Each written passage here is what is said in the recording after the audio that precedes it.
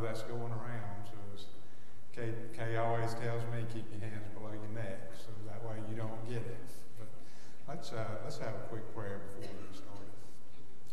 Holy Father, we're certainly thankful for all that you've given us for what you've given us here spiritually and also what you've given us physically on this earth. We are thankful that we do have a warm place to come together and, and meet together to learn about you and learn about your son. We do pray for all those that are teaching today that, uh, that they, uh, not just here at your uh, congregation that meets here, but uh, throughout the world, that, that the truth is spread uh, and, and we do justice to your word. We we do pray for those that are sick and not able to be with us. Certainly be with Chuck and, and his family as, a, as he's going through the flu. And we do pray that, that uh, none, none, others are, or that we're all able to, to keep that from happening to the, to the rest of us. We're thankful that the, that the damage that we've had down the hall was not any worse than it was. And thankful for all those that, that took care of that. Again, we're so thankful for your Son, and it is through his name that we ask this prayer. Amen. Uh, we're starting on uh, Matthew chapter 17 this morning. I've already been chastised for the font size of the of the first one. I told him, he, I was told that that was just a waste of the electrons to, to put it up on the screen. So I apologize for that. You, you can follow along in your Bible in the first part of it, we'll read uh, through chapter, or through verse 13. This will be uh, Matthew chapter 17. It's, it's about the transfiguration. You know, as we, we left off last week, when, when uh, uh, well, Peter had, had uh, chastised Christ before he, you know, when he told him that he was going to be you know t- taken up and for th- uh, three days and, and, then and then raised again. And he, he, you know, Peter, he had the keys to the kingdom, and that was not in his vocabulary. I think Mr. Prince pointed that out last week that a lot of times we don't we don't uh, we, we try to fit things to our to what we expect, and that's what Peter was doing. And you'll see uh, one commentary that I was reading, and I don't even know where I got it, but he was talking about Peter was chastised by, you know, Jesus and by God in, in a period of less than a week. And, and you'll see that here in this account of the Transfiguration. but let's read uh, Matthew 17, verses 1 through 13. Now, after six days, Jesus took Peter, James, and John, his brother, brought them up on a high mountain by themselves, and was transfigured before them. His face shone like the sun, and his clothes became white as the light. And behold, Moses and Elijah appeared to them, talking with him. And Peter answered and said to Jesus, Lord, it is good for us to be here. If you wish, let us make here three tabernacles, one for you, one for Moses, and one for Elijah. While he was still speaking, behold, a bright cloud overshadowed them, and suddenly a voice came out of the cloud saying, This is my beloved Son, in whom I am well pleased. Hear him. And when the disciples heard it, they fell on their faces and were greatly afraid. But Jesus came and touched them and said, Arise, do not be afraid. And when they had lifted up their eyes, they saw no one but Jesus only. Now, when they come down from the mountain, Jesus commanded them, saying, Tell the vision to no one until the Son of Man is risen from the dead. And his disciples asked him, saying, Why then do the scribes say that Elijah must come first? Then Jesus answered and said to them, Elijah truly is coming first and will restore all things. But I say to you that Elijah has come already, and they will not know him, but did to him whatever they wished. Likewise, the Son of Man is about to suffer at their hands. And the disciples understood that he spoke to them of John the Baptist. You know, if you read Luke's account of this, of this, it, uh, he, he talks about there was, uh, now it came to pass, this is in Luke 9, verse 28, first part of that verse. Now it came to pass about eight days after those sayings. And some people say that's a contradiction in the Bible. But as we know, sometimes partial days were counted as possibility of what, what, uh, of what Luke was, was doing, was doing there. The, uh, and, and, Luke also includes that Jesus and his disciples went up on the mountain to pray. Uh, why did Jesus take Peter, James, and John? Deuteronomy uh, 19, verse 15. It, it, says there, one witness shall not rise against a man concerning any inquiry or any sin that he commits. By the mouth of two or three witnesses, the matter shall be established. So Jesus was carrying, with him, he was carrying three witnesses. He wasn't carrying, carrying just the two, he was carrying three. Uh, and, and he repeats this, this, uh, this saying in Deuteronomy about the two or three witnesses in, in Matthew 18, which we'll get to next week.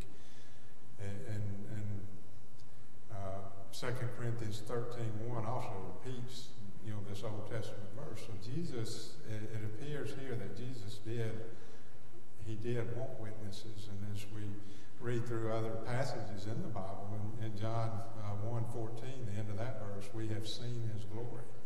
Uh, 2 Peter 1 16, we were eyewitnesses of his majesty. So these, it appears that they could be, if they're, and they may be talking about Jesus as a whole in these verses, or they may be talking about this event here, that they had seen the glory of Jesus.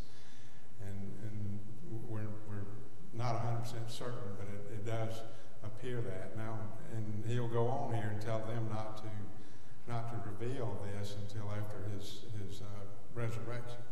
But it says they went up on a high mountain. A lot of commentaries will imply that that's Mount Tabor in Galilee, but the area that they were in, and we don't have an account of them leaving uh, the, the, area that they were in, it, that mountain wouldn't have been there, and there was a fort up on that mountain at this time. So it, it probably was was not Mount Tabor. Uh, a lot of a lot of the commentaries think it was Mount Hermon. It was a higher mountain, and it would have been isolated. You know, after you know the the transfiguration, it says they departed from there, talking about the mountain, and and passed through Galilee. So this this. Uh, they were probably still in the, in the area of Caesarea Philippi until after this transfiguration. The word transfiguration is a word that means, uh, the, the Greek word is metamorpho, and it's where we get our word metamorphosis. And, and you would see it, it, it, would be like something, well, it, you, you know one of the things that we that we see that metamorphosis or metamorphosizes, I don't know if that's a word or not, but it would be the caterpillar you know, changing into a butterfly. And there's no comparison between the two. Caterpillars, in my opinion, are ugly. Butterflies are not. They're, they're beautiful. And this, this was a transfiguration that, uh, that Jesus went through. And that word appears only two other times in the New Testament. Of course, one of them is in Romans 12, verse 2. And do not be conformed to this world, but be transformed by the renewing of your mind that you may prove that is good and acceptable and the perfect will of God. And also one that we studied just recently that Chuck had brought out in 2 Corinthians 3.18, but we all, with unveiled face, beholding as in a mirror the glory of the Lord, are being transformed into the same image from glory to glory, just as by the Spirit of the Lord. So, you know, we're, we're also being transformed, you know, day by day into this same same image uh, if we are if we are in the Word and, and faithful and uh, faithful to uh, Christ. And it says it says that Jesus' face shone like the sun.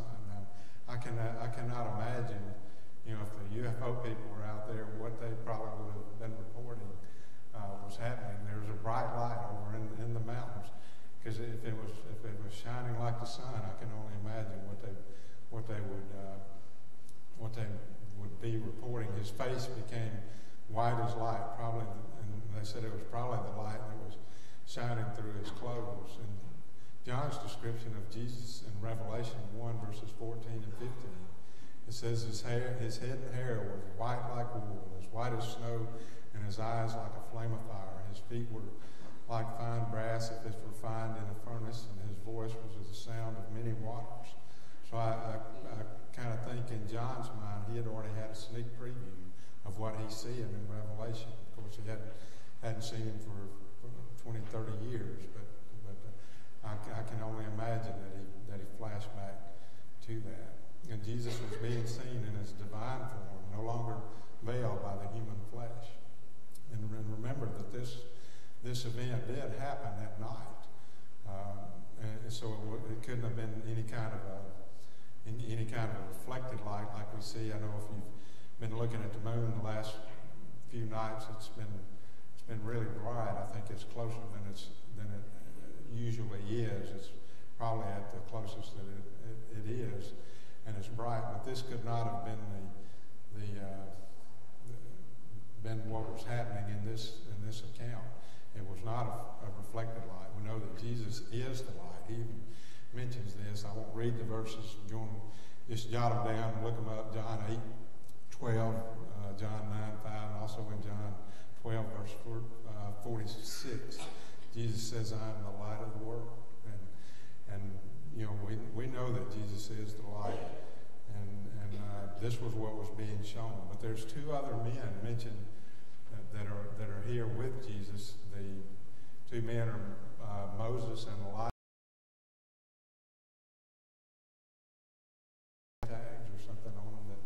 that would identify them. Uh, but it, maybe they could tell. Um, you know, I'm not certain how they knew, but the, the, these two men would, would have represented, Moses would have represented the law, and Elijah would have uh, represented the prophets. And the law and the prophets were all that they had until now. Uh, Luke 16, 16, the law and the prophets were until John, since the time the kingdom of God has been preached, and everyone is pressing, and that word means using force into it. Uh, you know, they, they, they were wanting to take Jesus at that time and, and to make him king.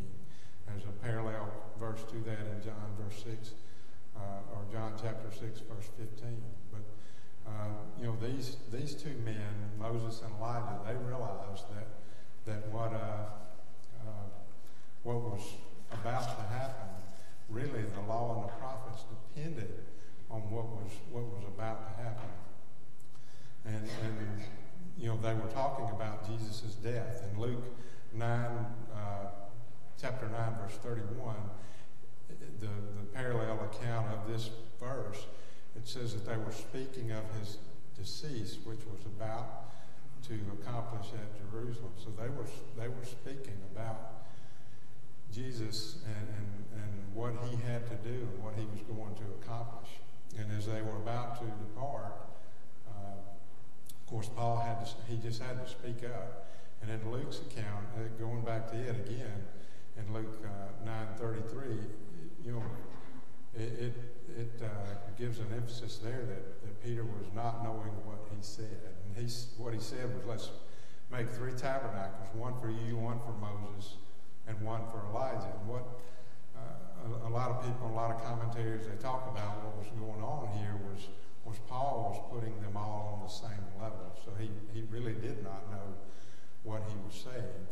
Uh, Franklin Camp in his some of his books, he talks about the, the law and the prophets depend on the cross. And you can we can read about that in, in uh, later chapters, and, and it's uh, well Acts 13 verse 38 and 39. Uh, therefore, let it be, this is, this is Paul uh, speaking here. Therefore, let it be known to you, brethren, that though that through this man, that through this man is preached to you the forgiveness of sins, and by him everyone who believes is justified is justified from all things which you could not be justified by the law of Moses. And in Hebrews 9, verse 15, and for this reason he is the mediator talking about Jesus here. He is the mediator of the new covenant by means of death for the redemption of the transgressions under the first covenant, that those who are called may receive the promise of eternal inheritance. So, you know, Moses and Elijah realized that, uh, and, and, I don't know if they realized, and I'm certain they didn't realize it at the time, but they did realize that what Jesus was about to, to do uh, in Jerusalem in, in the upcoming events would affect everything that they had done. That, that no one, even those under the Old Testament, as we read here, could not have been saved if Christ had not done what he did. And that's, that's and I think that's very important. And sometimes I think we forget that. That, you know, even, even though if you read in the Old Testament, there's a certainty that events would happen and that they would be saved, but there, there's before they ever happen, he even can plan things before they ever happen. He knew this was going to happen, so he knew that they would they would be saved. The writer in Hebrews, he's looking back. He's looking at the high priest and the tabernacles and the blood of bulls and goats. And in uh, Hebrews 10.4, it tells us that the blood of the bulls and goats could not save them.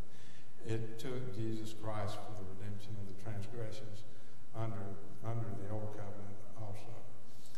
And then he, he, he goes on while he was, of course, while he was still speaking, uh, behold, a, a bright cloud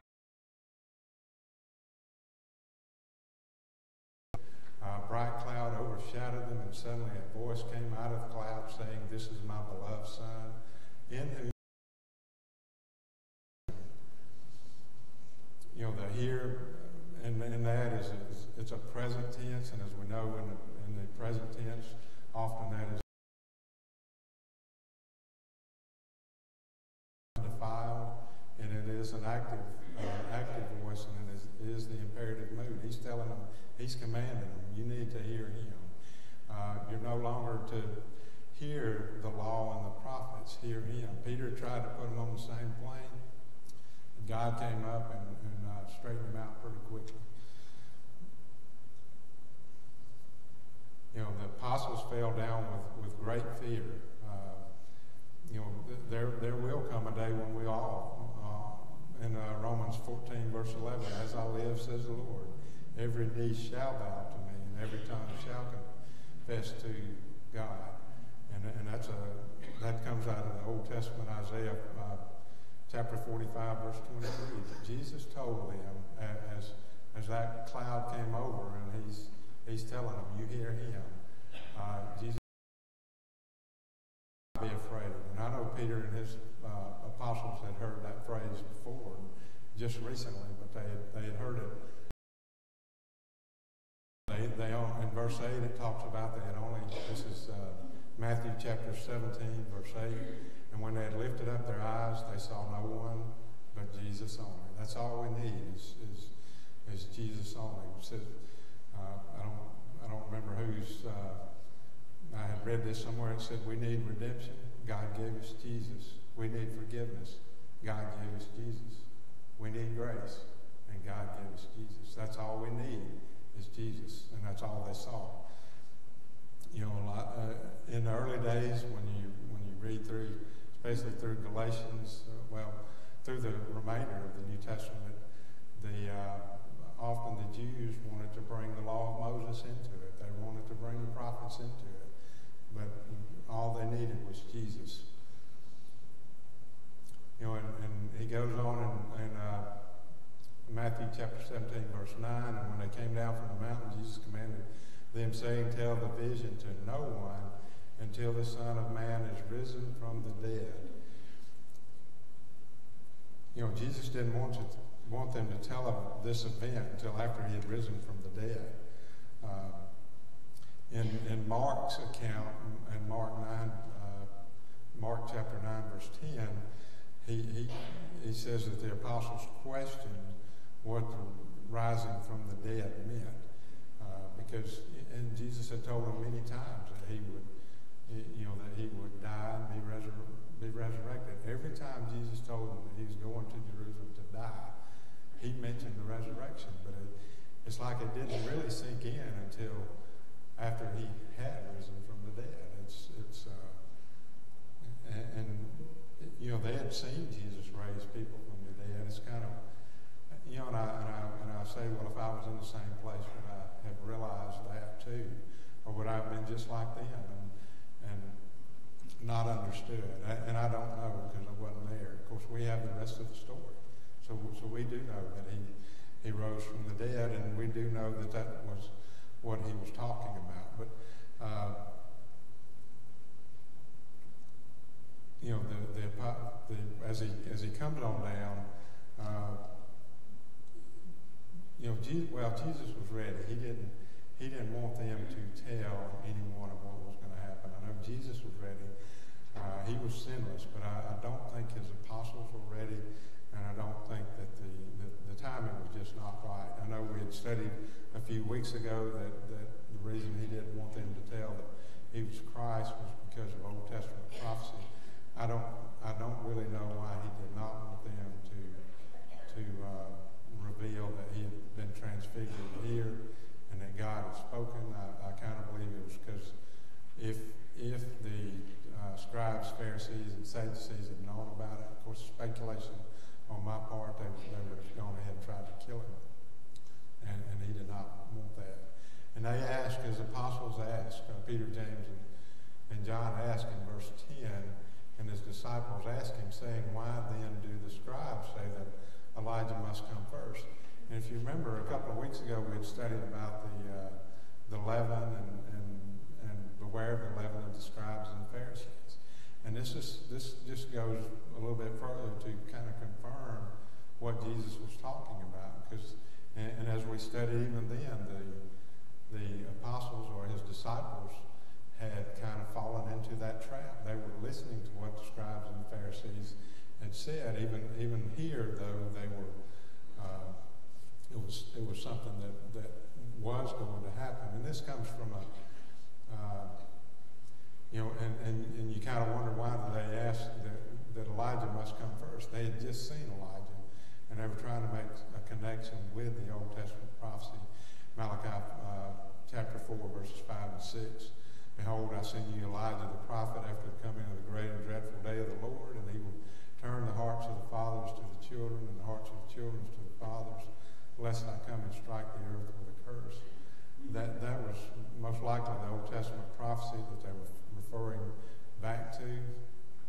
And he goes on in, uh, in verses 11 and 12, Jesus answered and said to them, Elijah truly is coming first and will restore all things. But I say to you that Elijah has come already, and they did not know, they did not know him, but did to him whatever they wished. Likewise, the Son of Man is also about to suffer at their hands. You know, the, the uh, you know, Elijah is coming and, and, and has, and it, it, uh, to me, it's, it's a little bit confusing. I'm not, uh, maybe some of y'all will have an idea. It, you know, it seems, seems like Jesus is using uh, future tense and past tense. He, he says Elijah truly is coming, and, and then he says that Elijah has come already.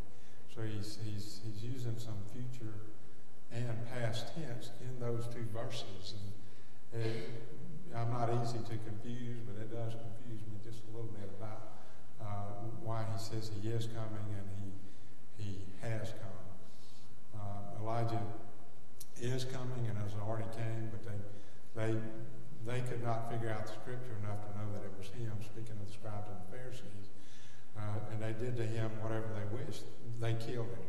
And, and what they certainly couldn't understand the scriptures concerning the Christ and, and what they would do to him and what they were going to do to him was the same thing. They would also also kill him. And that's what he says. Likewise, the Son of Man is also about to suffer at their hands.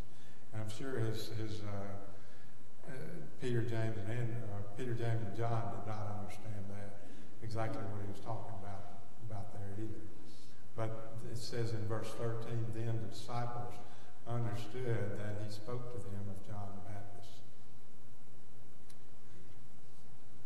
Any comments or questions? Or... Okay, let's move on to the next. Uh, Next section was, and the King James calls it a lunatic sign. Uh, the the uh, Greek word means moonstruck. I'm not, I'm not sure what moonstruck means, uh, but he, he, he was crazy. This son was crazy. This font's a little bit bigger, but I know you, uh, if you've got a Bible, just follow along if you can't read what's on, up on the, uh, up on the screen. But the, uh, we'll, we'll read verses be 14 through 21. This is Matthew chapter 17. And then they had come to the multitude, a man saying to him, kneeling down to him, saying, up.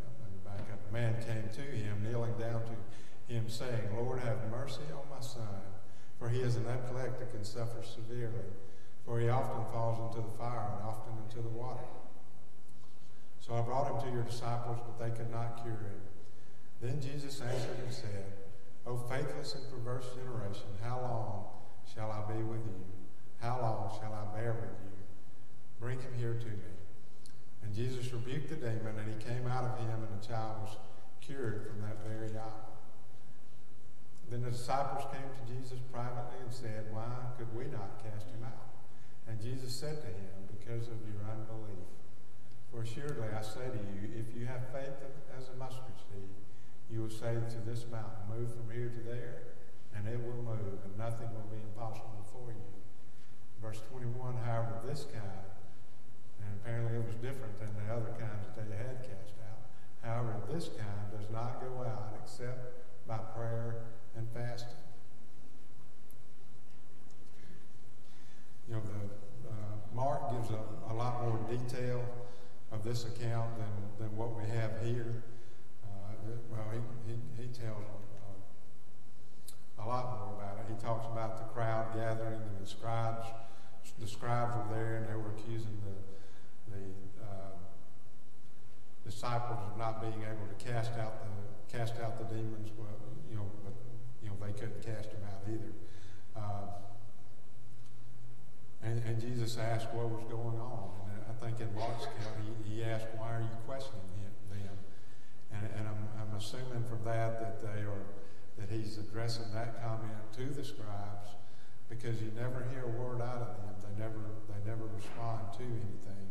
And I'm wondering if they, they understood that Jesus knew what they were doing and, and uh, he kind of, he kind of shut them down uh, fairly quickly uh, because they never, they never said anything. And the, and the man with the, with the son with epilepsy or the, the lunatic son, he tells Jesus that he had brought his son to the disciples, but they could not heal him.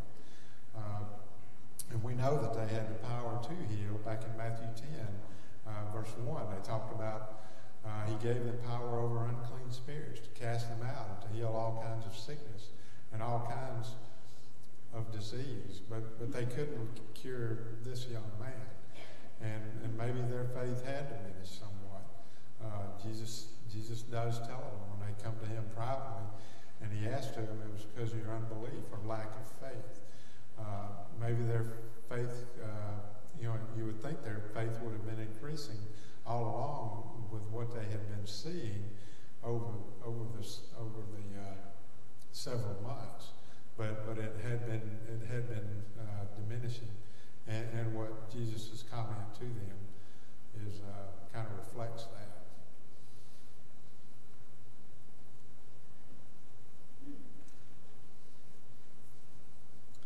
Uh, and, and Jesus answered and said, Oh, faithless and perverse generation, how, how long shall I be with you? How long shall I bear with you?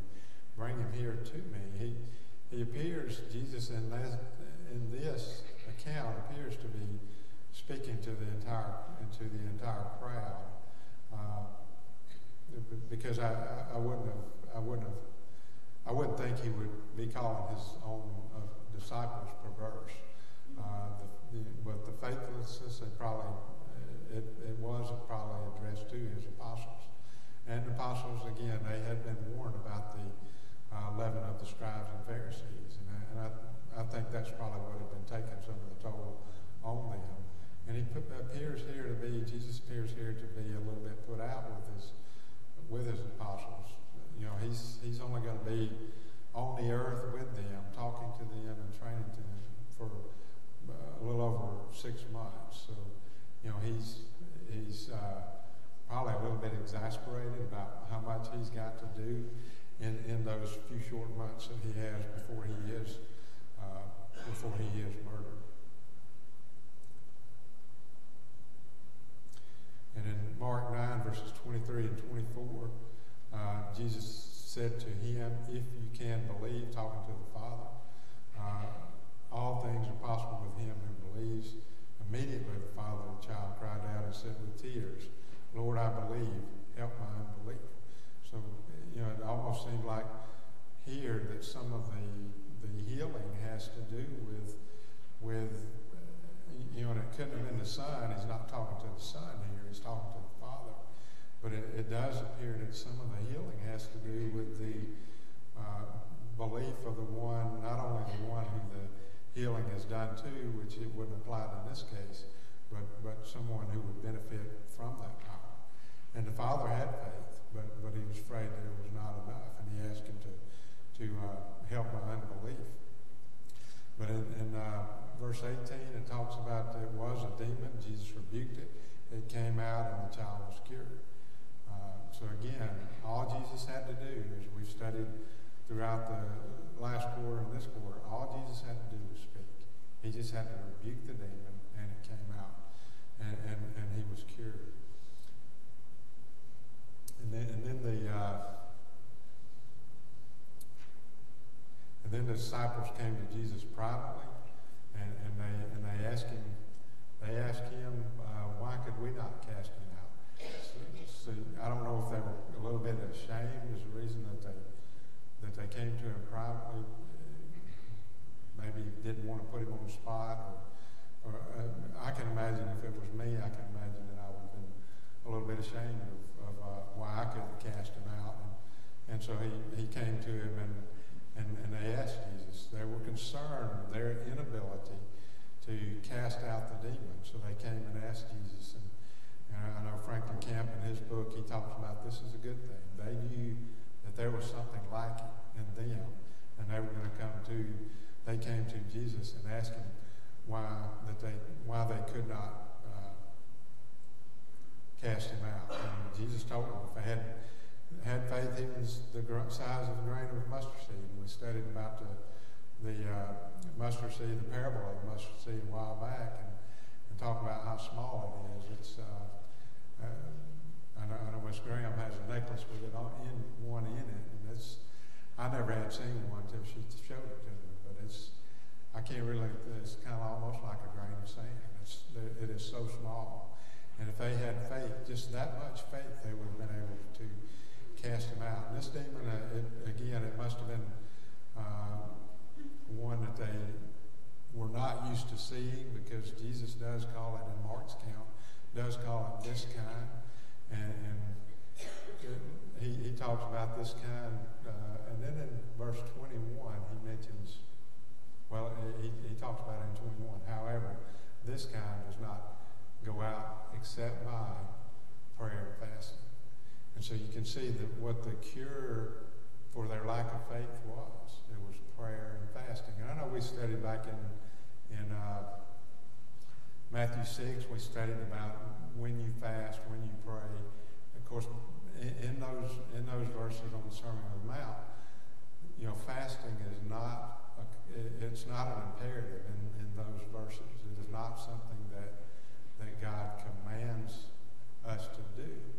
But there does seem to be an expectation that we are to be fasting. And I and I I'll confess I don't fast. I kind of kid around, tell people well, I fast at night and I break the in the morning, but I don't I don't fast. Uh, of course, uh, my eating habits are terrible. I don't. Uh, I probably spend a total of I don't know maybe nowadays if I spend 30 minutes eating all three meals, that's that's a lot because I usually grab some on the way out the door in the morning, and then at lunch I eat at my desk and answer emails. And, and in the evenings, you know, sometimes Kay and I'll sit down in the evenings to eat, but I, would not say a lot. I, I know it's, it's probably helpful that you do take time to sit down and not uh, go, go ahead, Felicia.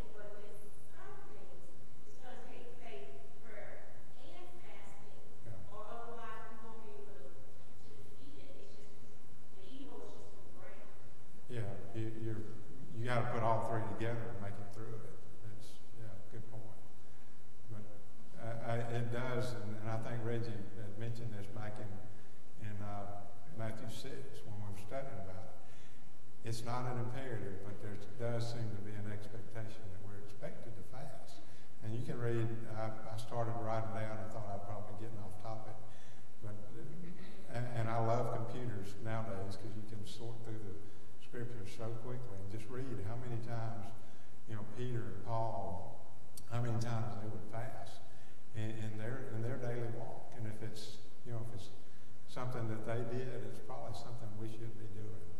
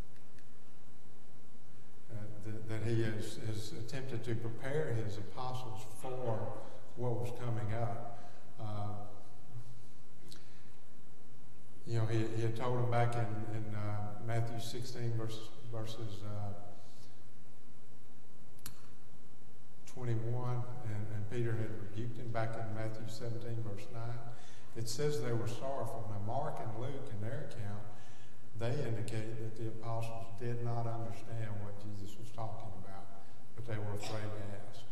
So he, he uh, you know, it says they were sorrowful, but, but they, again, they did not understand the kingdom and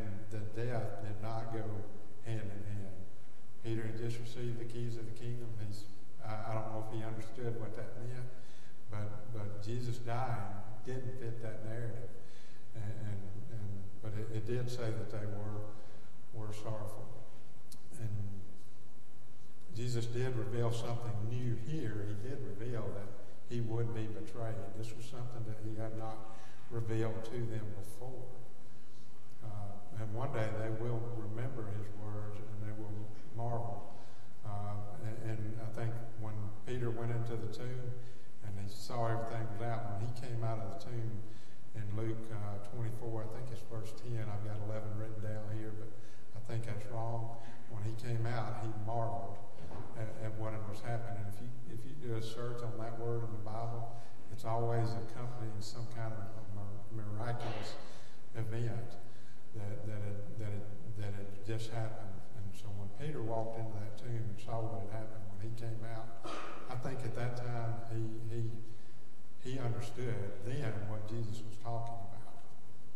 Going on to the next part, the uh, last part of this chapter, uh, verses 24 through 27.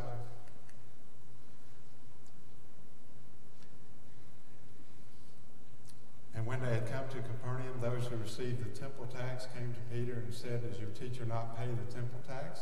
And he said, Yes. And when he had come into the house, Jesus anticipated him, saying, What do you think, Simon? From whom do the kings of the earth take customs or taxes? From their own? Me, From their own sons or from strangers? And Peter said to him, From strangers. And Jesus said to him, Then the sons are free. Nevertheless, lest we offend them, go to the sea, cast in a hook, and take the fish that comes out first. And when you have opened his mouth, you shall find a piece of money. Take that and give it to them for me and you.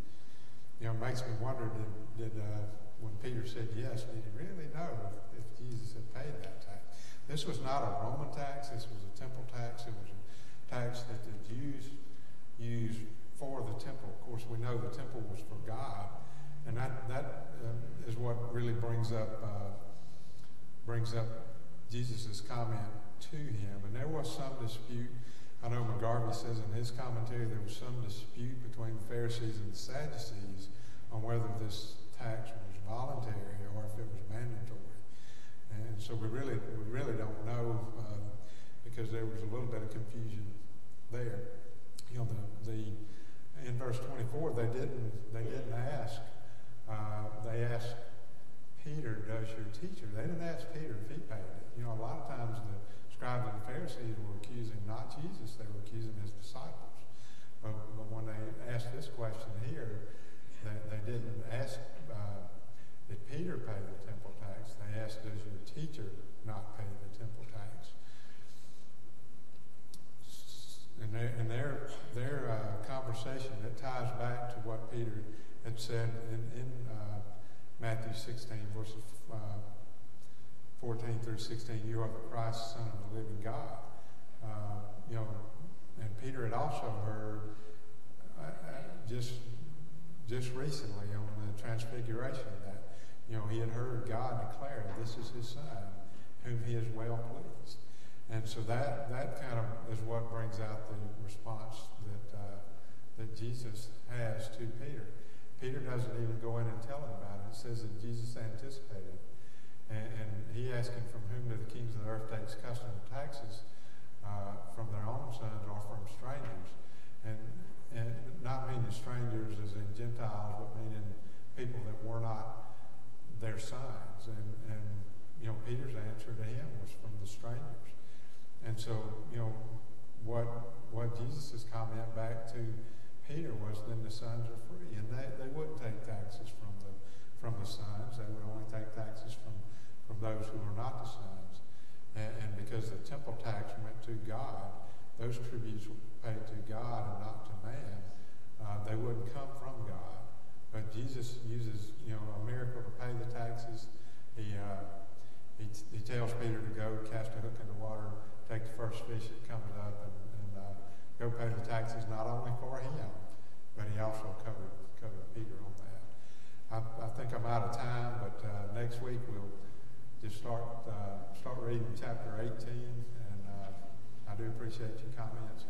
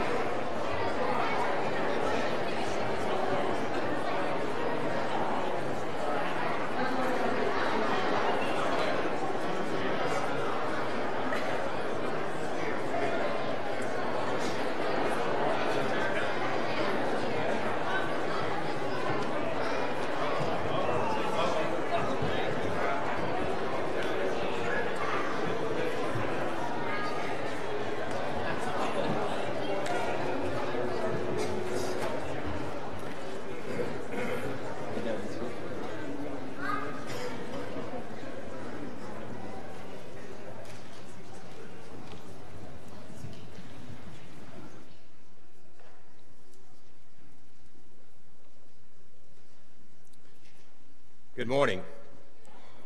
I'm obviously not Chuck. He's at home sick, and I know he'd rather be here. But uh, filling in in his absence, uh, I'm glad to do. As we think about the theme uh, that this congregation has adopted for the next year love God, love people, and change the world. You know, this is really only a slogan if we don't embrace what it means and if we don't embrace how we live it out in our lives, both individually and collectively as a congregation. If we're able to do great things for the Lord, we must be joined together and be united in our effort to do so. This morning, we'll be looking at God's desire for unity among his children. We'll discuss the basis of Christian unity from God's Word. As we go into this new year, let's strive to demonstrate that there's even a greater unity among us than maybe has existed even in the past. When we show our love for God and we show through our deeds that we love people, we can go about our daily lives and doing those things get, that can make changes in our little part of the world. Collectively, as we do those small things individually, we can make big changes in the world around us. Let us take a moment now to reflect upon God's love for us, our love for one another and our desire to make a difference in the world. Let's take a moment of silence.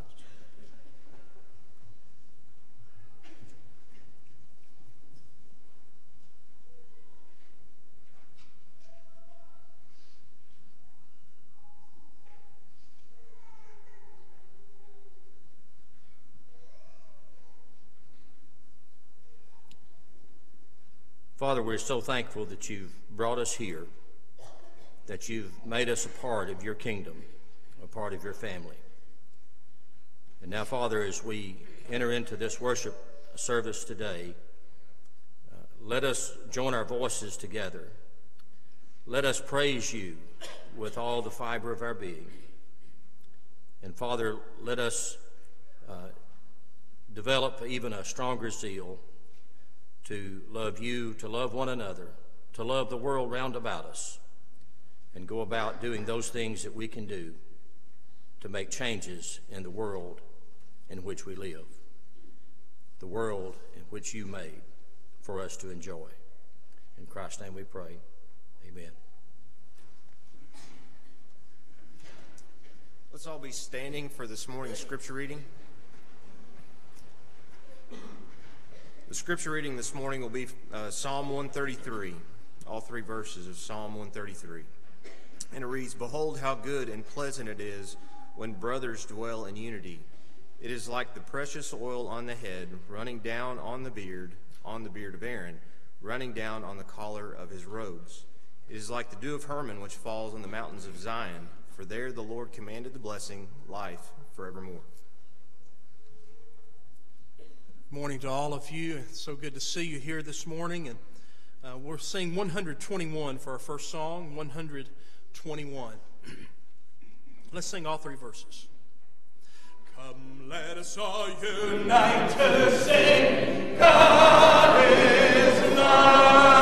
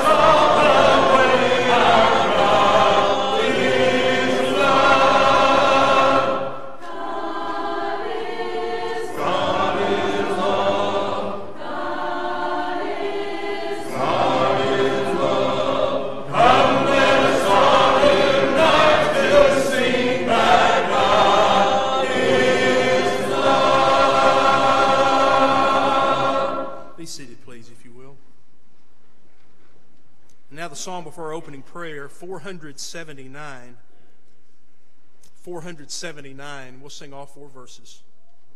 Sing it very softly.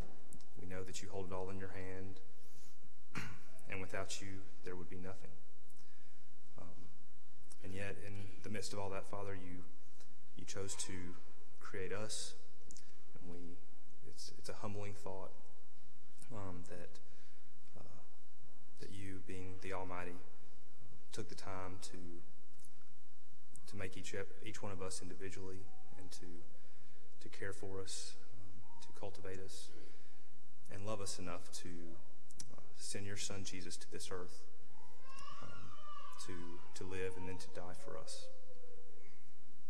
Father, as we move into this new year, we just pray that we can um, keep keep that in mind uh, each and every day, particularly as we strive to live out our, our theme for this year, to, to love you more, to love others more, and to through doing each of those things to change the world. We just pray that you would help us each and every day uh, to to focus on on those things, Father, and as we do, that in fact uh, the, the, world will be changed, um, especially here locally in this community, but but also outside of that community and the other other efforts that go on. Um, Father, there are uh, there are many in this congregation that, that are sick, Father.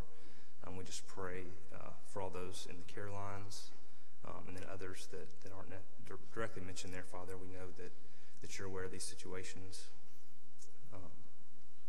Um, and we ask that your, your comforting hand can be on each and every one of them.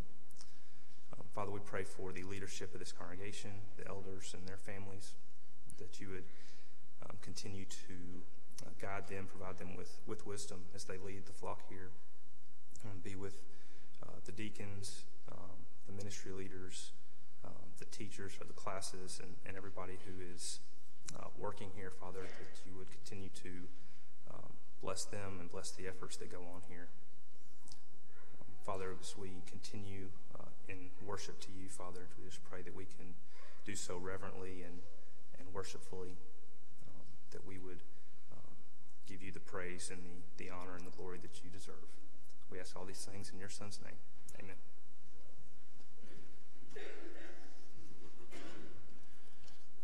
We'll sing 350 now. This will help our minds prepare for the Lord's Supper, and I'd like for us to sing all verses of this song together. When my love to Christ grows weak, when for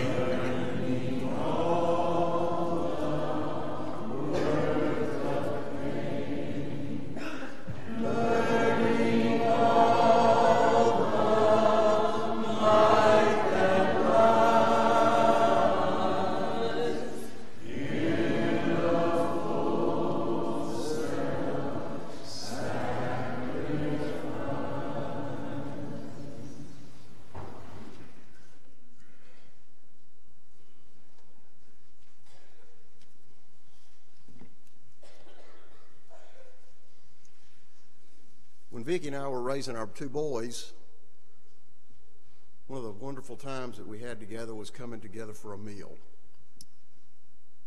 Vicki was a great cook. We always had a good breakfast, a good lunch, and a good dinner. And coming together for a meal was special.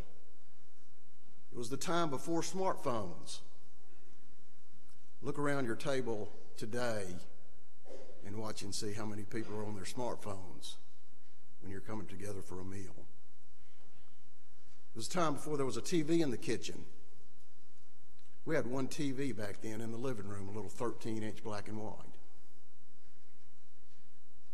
Kids today don't even understand that. But mealtime was special. And mealtime for the family of God is right now, and it's special. It's a time we can come together.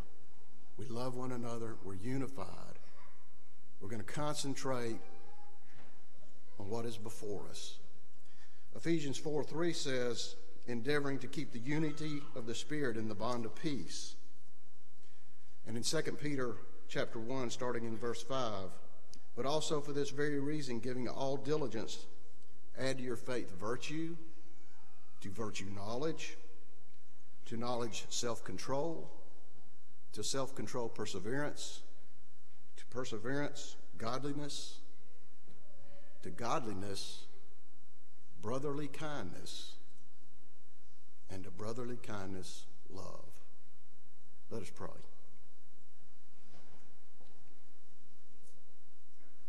Dear God, our Father, we're so grateful for this mealtime, a time to come together to remember what Christ has done for us,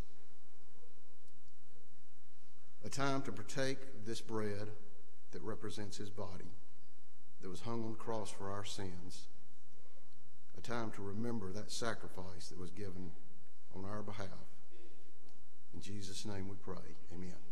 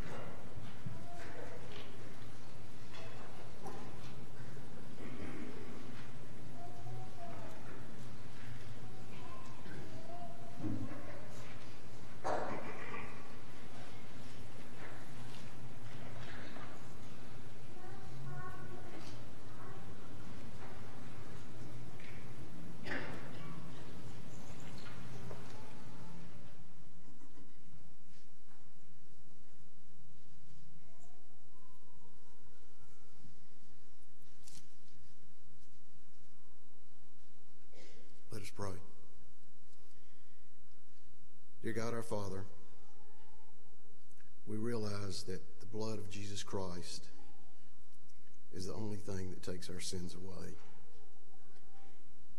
What a tremendous thought to think that you will never remember our sins anymore against us.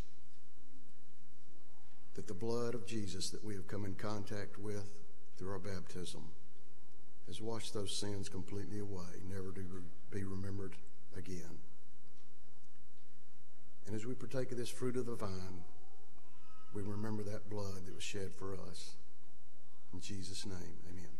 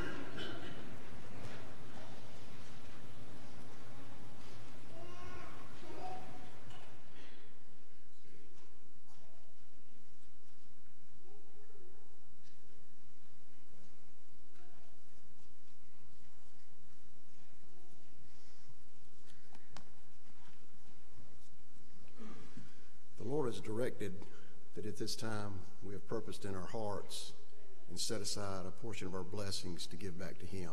Let us pray. Father, we live in such a blessed land, and so we're so thankful for everything you've bestowed upon us. You have richly given us all things, and for this we're thankful. Father, help us to have looked into our hearts purpose to give back to you at this time a portion of those blessings. In Jesus' name we pray. Amen.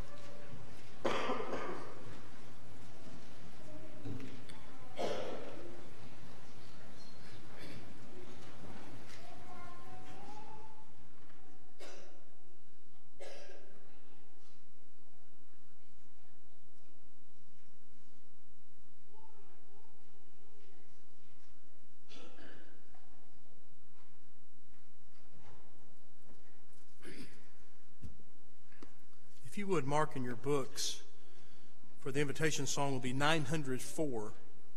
904. And we want to sing two songs before the lesson this morning. The first will be 704.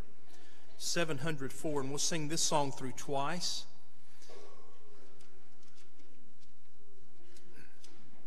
Bind us together, Lord, bind us together with cords that cannot be broken. Bind us together,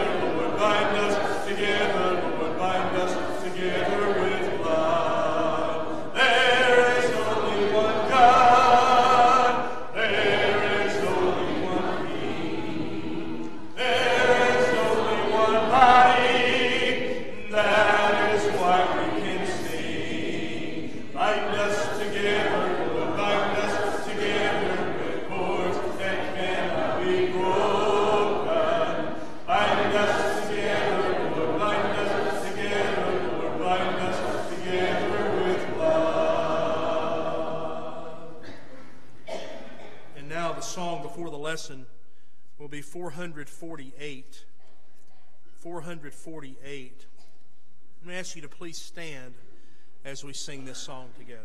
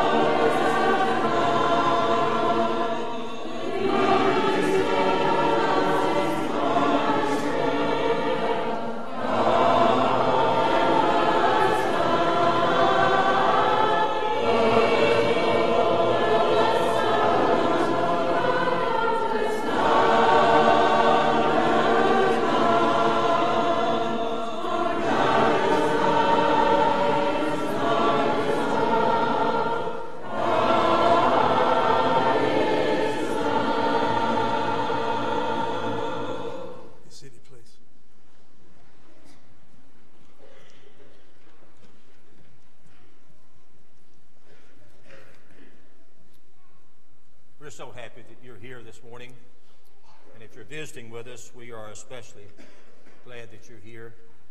We count you our honored guest, and we hope that you will find everything that is done will be done in accordance with the glory of God. As we think about the idea of living in unity and peace together, I think it's incumbent upon us to go to God's Word. We're reminded in Scripture, in John chapter 7, where we see Jesus himself praying that his followers would be one.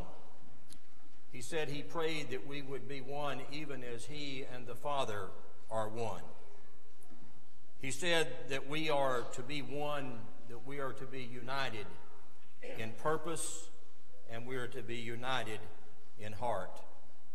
As we gather here today, there is indeed a desire on the part of each one of us to attain to something that is better than what we find here on this earth. In our hearts, we know that we want the promises of that eternal home with Him in heaven. We know that we also uh, have demands placed upon us during this life.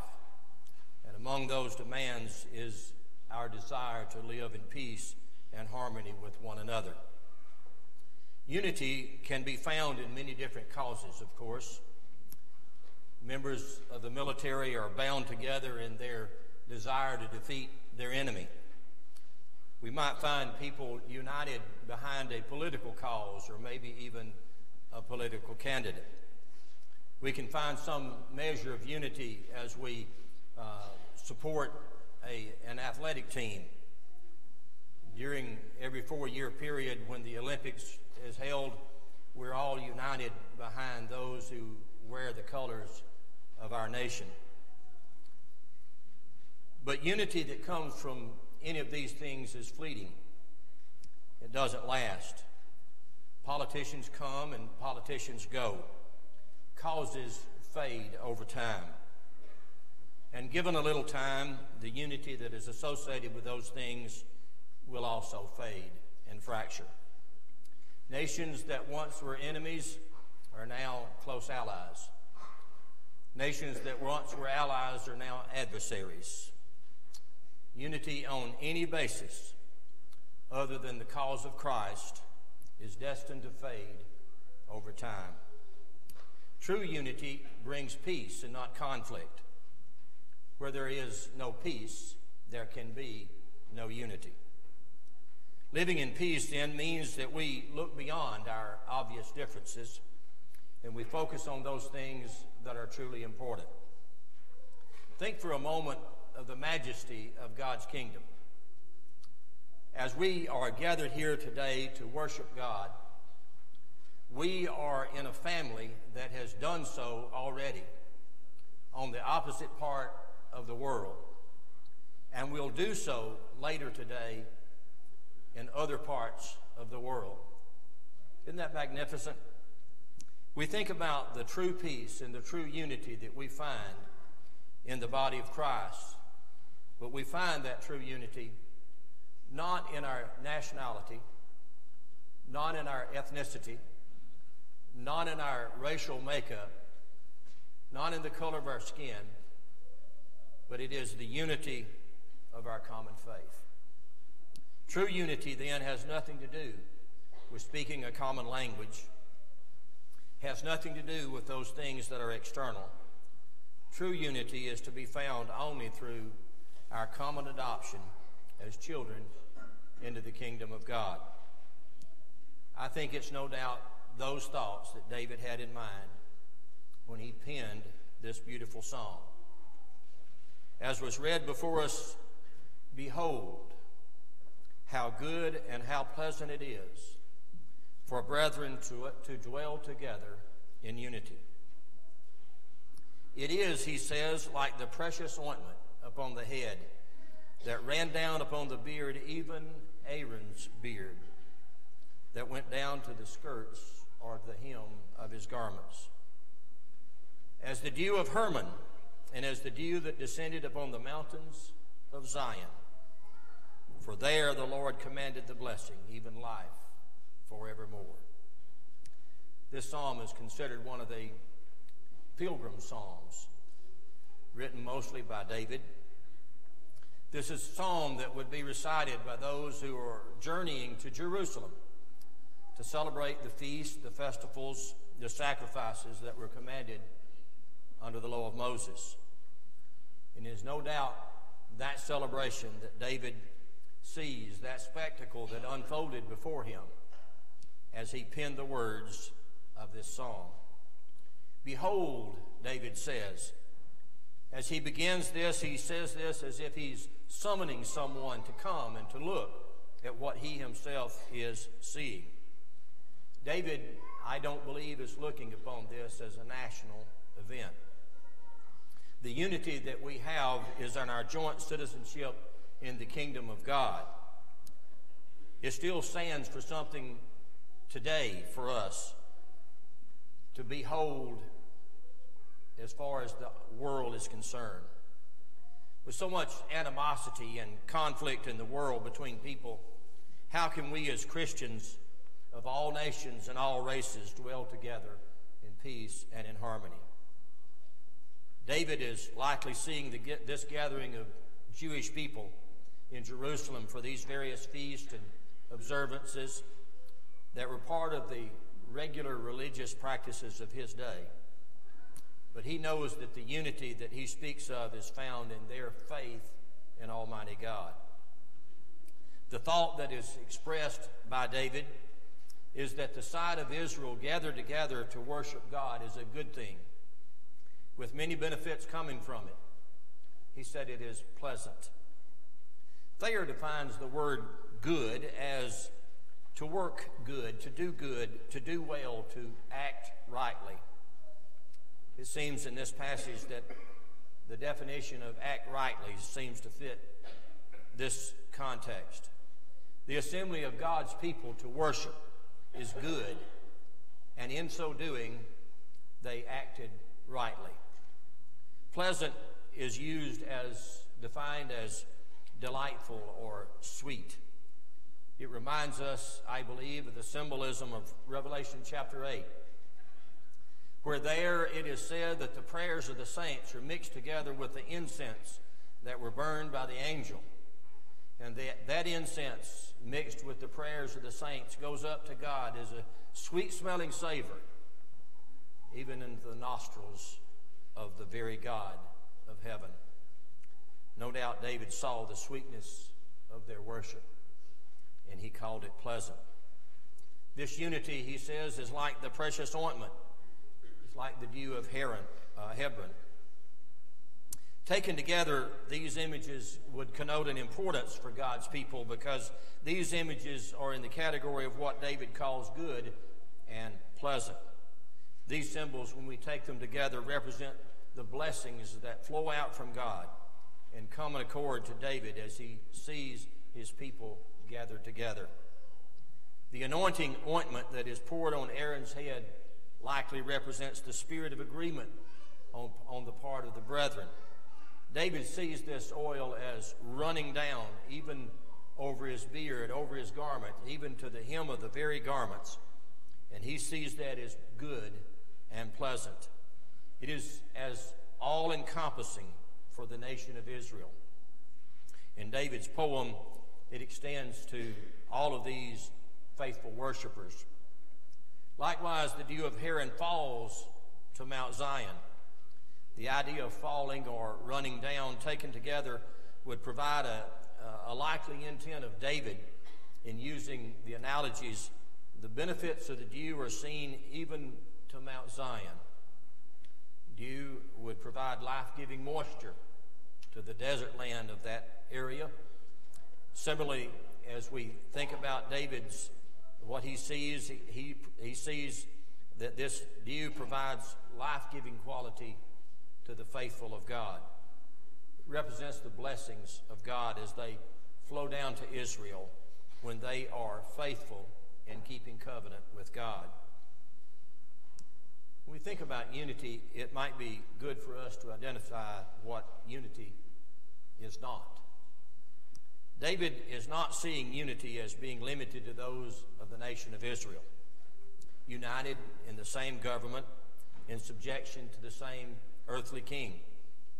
Neither does he consider unity to be between brethren in a natural state, that is, of the same family, of the same tribe. Unity is not merely the absence of conflict. We know that from Genesis chapter 13 when we see the conflict that arose between Abraham and his servants and Lot and his servants. And we know the resolution to that conflict was one of separation. Well, that separation may have brought some measure of peace, but it did not bring unity between Abraham and his herdsmen and Lot and his herdsmen. We find Moses having to be separated from his people because of conflict, but yet there was no peace. So there's no unity. True unity is a holy thing. It's motivated by our love for God and for our love for one another. For David, this spiritual unity was found in the sight of the Israelites coming together to worship at Jerusalem. It was more important than that, the national unity of the nation of Israel. It's a celebration of the common life of faith that binds God's people together. The thing that attracted David's attention was the spiritual bonds of heavenly fellowship that are enjoyed by those who gather together to worship their common God. This common expression is the united Christian life is illustrated for us by the apostle Paul in 1 Corinthians chapter 12. We see there where he describes the church as a living organism. He compares it to the body, our own body. He says in verses 12 through 27, I'll dip into a couple of verses. For just as the body is one and has many members, all the members of the body, though many, are one body. We come together as 300 plus but we're assembled together as one. He says that we are in one spirit, all baptized into one body. We're all made to drink of that one spirit, for the body does not consist of one member, but many. There are many parts, he says, but one body. And the parts of the body that seem to be weaker are indispensable to the whole. And he, pray, he prays and encourages them that there be no division in the body, that the members may be of the same care for one another. If one member suffers, all suffer. If one member is honored, we all rejoice together. Now you are the body of Christ and individually members of it. Did you catch that? You are the body of Christ and individually, individually, members of it. Just as the members of the human body have no existence apart from the whole body, individual believers can have no existence independent of the body of Christ. You can't live as a Christian apart from the body of Christ. We need one another to be the whole body. When one part is hurting and one part is missing, the body is not whole. Individually, we need one another. Peter added to this teaching with the analogy of a building. He said in 1 Peter chapter 2 and verse 5, you yourselves like living stones are built up as a spiritual house to be a holy priesthood to offer spiritual sacrifices acceptable to God through Jesus Christ. This is the unity that God wants. The unity that is to be found in the family of God. To use Peter's analogy of the, of the church as a building, we see the whole building is dependent upon each living stone. There are no unimportant stones. We're all to bear the weight according to our ability to bear it. Jesus makes it clear that unity among believers is possible only through our mutual love for one another. Without a love for one another, there can be no unity. We can't lo- love in word only, however, we must allow our actions to match our words. Jesus tells us in John chapter 13, verses 34 and 5, a passage so familiar to all of you. A new commandment I give you, Jesus says, that you love one another, just as I have loved you.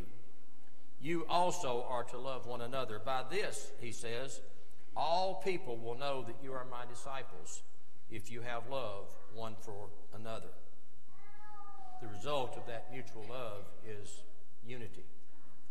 The result of that mutual love is peace and harmony amongst God's people. In John chapter 17, Jesus prayed that they may all be one just as you, Father, and I are one. This unity then is brought about through our mutual love. That love that brings a oneness in our teaching, that is our doctrine, but more importantly, or equally as important, I guess I should say, the unity in our hearts, the unity of spirit. Paul implored the, the Corinthian brethren to strive for that spiritual unity, where in 1 Corinthians chapter 1 and verse 10, he says, I appeal. That is a strong, I appeal, I implore, I beg you, brethren, in the name of Jesus Christ, that all of you agree that there be no division that you be united in the same spirit and the same judgment. If we love one another, we will desire to have that kind of peace. That kind of peace as we live together. Paul, uh, uh, Paul said in Romans that if possible, so far as it depends on you, live peaceably with all. We can't control what others do. We can only control what we do. So, to the extent that it is possible, let us live in peace and harmony with the world round about us. When we seek for peace, people will notice. Mark chapter 9 tells, tells us that we are salt. And he says we are to have salt in ourselves and be at peace with one another. Our love doesn't mean that there will never be a disagreement. Paul and Barnabas encountered a disagreement or two along the way. But we found a beautiful example, example in Acts chapter 15 of how those disagreements, the doctrinal disagreement that occurred during the first century, were handled. And we can see there, if we read chapter 15 of the book of Acts, how they came together in a spirit of mutual respect and resolved what differences there were. Conclusions were made and uh, letters written, and, and peace would reign for a time. The Hebrew writer tells us in 13 and 1 let brotherly love continue. We could add, let it continue still today. Our relationship with one another is based on that brotherly love the love that we would have for our own brother. And I think the fact is, many times, the relationships that we have with our Christian families is stronger than the relationships we have sometimes with our physical families. True unity is to be found in the Lord. When we learn His Word, when we apply it to our lives, and we live in accordance with His instructions, unity will be the result. Isaiah speaks to us about a day in the future to him when Christ would bring unity and peace to this earth. That day was in the future to Isaiah, but it's the present age to us as we live to today in the kingdom that was promised. Isaiah chapter 11, verses 9 through 13, he tells us, For the earth shall be full of the knowledge of the Lord as the waters cover the sea. And that day the root of, Je- of Jesse shall stand as a signal for the peoples. Peace is meant to reign in God's kingdom. The foundation of unity among believers is the recognition that we exist as a part of His kingdom, His church, and not our own. Since the church belongs to God and Christ is its head, He sets the standards that are to be applied. Our part is simply to do His will. Jeremiah says, And they shall be my people, and I will be their God. I will give them one heart and one way. But note the order in Jeremiah. He says, first, the faithful will be God's people, a people of one heart and one way. If they are God's people, as evidenced by the unity that they show, then He will be their God. This is God's message to His people today. If we're faithful to Him, He will lift us up, He will adopt us as children. Unity can come only through each of us living out our calling in Christ Jesus. Ephesians chapter 4 and verse 1 reminds us that we are to walk in a manner worthy of the calling in which we're called. Philippians tells us that we are to be of the same mind, that we are to have the same love, that we are to be in full accord, that we are to be of one mind, that we are to do nothing from selfish ambition or conceit, but in humility we are to count others more significant than ourselves. He says we are to look not to our own interest only, but also to the interest of others. John reminds us that we know that we pass from death to life when we love the brethren. He says when we know that we love God and love one another, he says, by this we can know. We can know that we are in God. Now, there's many blessings that we see that come from unity. In that passage from Ephesians chapter 4, going down to verse 2 through 6, we see that these are the blessings that come from living a life of peace and harmony and unity. Being joined together with one purpose and one goal. He says, with all humility and gentleness, with patience, bearing with one another in love, eager to maintain the unity of the Spirit in the bond of peace. There's one body, one Spirit, just as you're called to one hope that belongs to your call. One Lord, one faith, one baptism, one God and Father of all. With unity, we find comes humility. With unity, we find comes gentleness.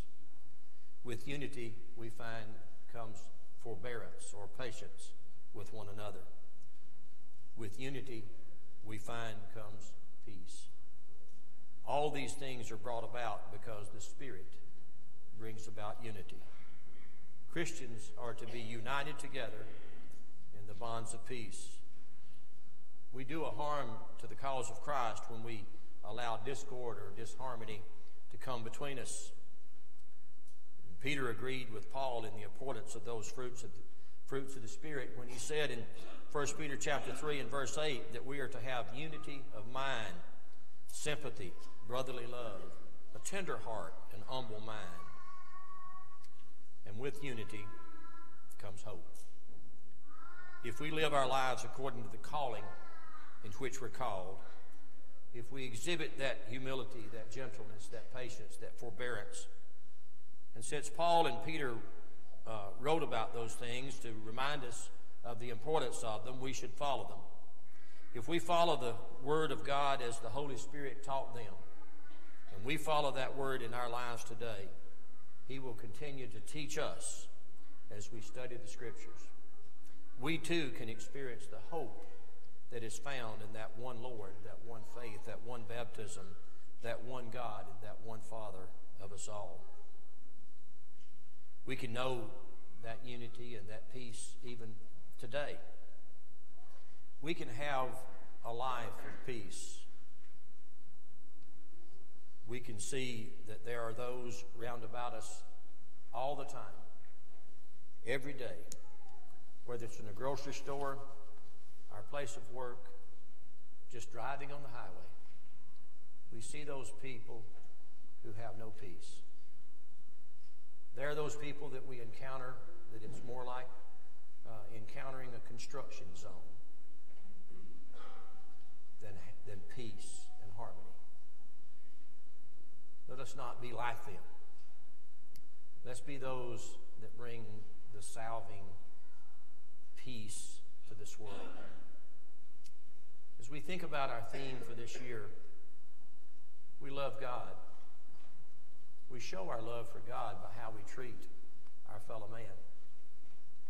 And as we show our love for God and our love for our fellow man in the actions of our daily life and our daily interactions with others, we can demonstrate God's love to them. We can be different than what they see every day. We can do something that causes someone to stop for just a moment and recognize, you know, there's something different about that person. I'd like to learn more about what it is that brings the peace in their life. Peace and contentment comes only from Jesus. Peace and contentment comes only through our living a life in harmony with God's Word. But you can't live a life in harmony with God's Word. You can't live a life in peace with God if you're not in Christ. And to be in Christ, you are part of His kingdom. You're part of His church. And if you've never made that decision to be part of the kingdom of God, if you've never decided to accept the grace that God has extended to you, there's no better time than today to do that so that you'd have the opportunity to live in peace and harmony with God and with your fellow man. And if you're having struggles as a child of God, struggles with your own internal peace, there's no better place to turn than to your brothers and sisters and ask for the prayers and the comfort that can come only from people of God. If you're subject to the invitation, we ask that you come even now as we stand and sing this song for your encouragement. Into Jesus, the cleansing power. Are you washed in the blood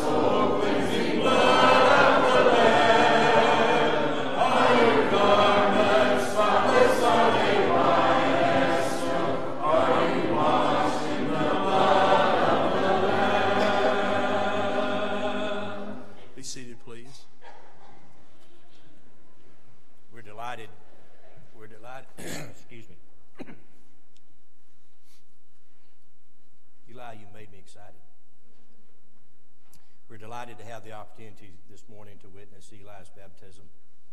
His, uh, his adoption into the family of God is consummated through this, this, this, this baptism. Uh, someone will help us. We will, we will do that. We're going to, Dad's going to take care of that, that chore, and uh, you're invited to all stay and be a part of that. Let's go back.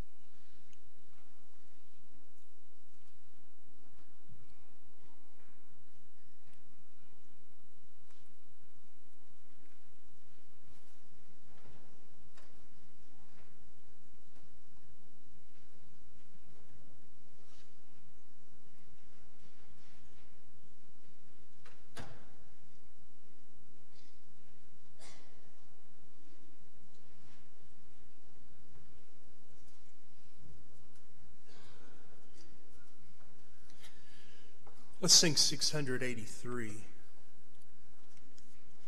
683.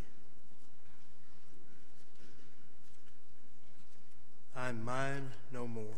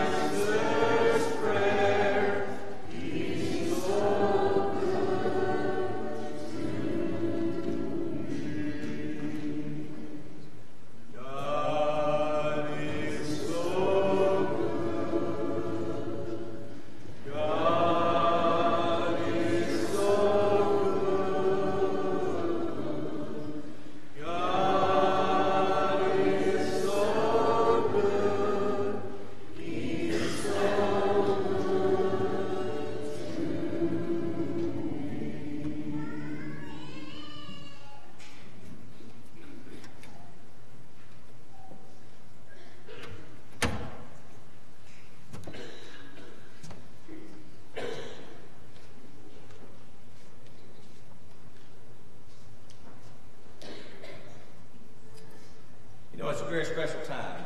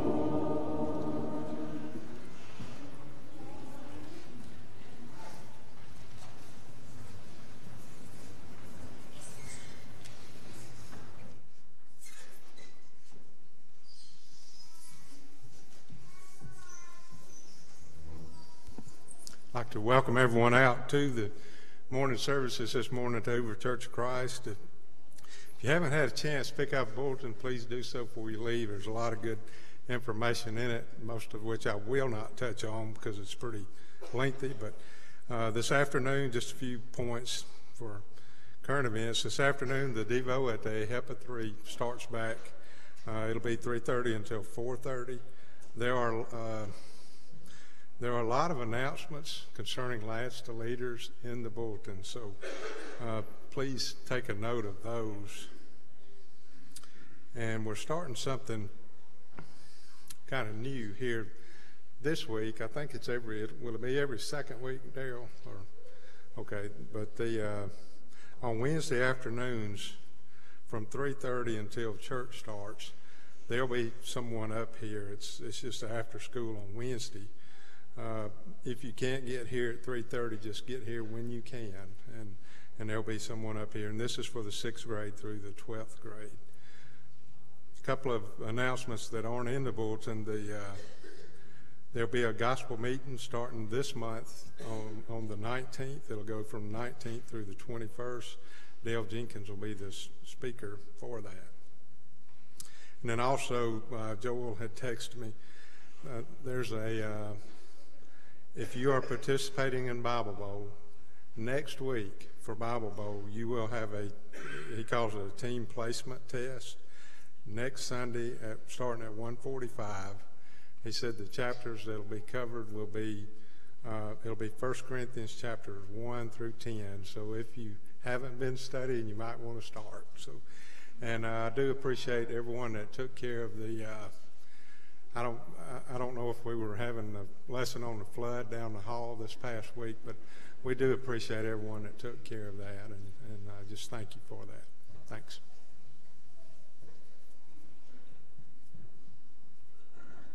What a wonderful morning we've had here. Chuck, we miss you, brother. We miss you. We hope you get well soon. Our closing song, 122. 122, and we'll sing the first verse of this song, and then we'll be led in our closing prayer. Would you please stand as we sing? Since the love of God has shed precious blessings on my head, I am made in my own. I will hide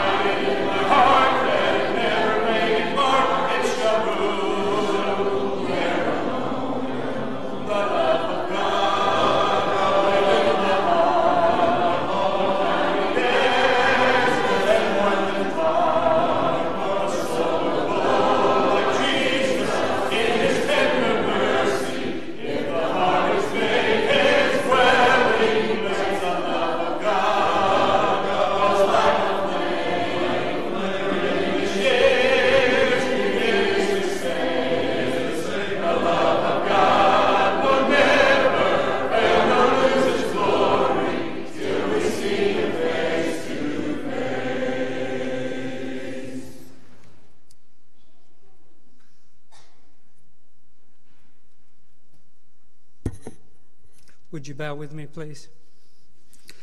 Our Heavenly Father, we come humbly before thy throne. We offer many thanks to you. We're thankful for this day. We're blessed and thankful for Eli and his decision to become a Christian. We're thankful for the lessons that were taught this morning. May each of us examine those lessons and apply them to our lives. We pray that individually you give us strength and wisdom and patience and understanding as we collectively come together in unity. Please be with those that have lost loved ones. Please comfort them in a way that only you can. Please be with those that are on our hearts and minds and that are on our care lines that are struggling with health issues. And please restore their health back to them if it be thy will. Please forgive us of our sins as we strive to become better Christians. We're thankful for you sending Jesus to die for our sins, and it's through his name we pray. Amen.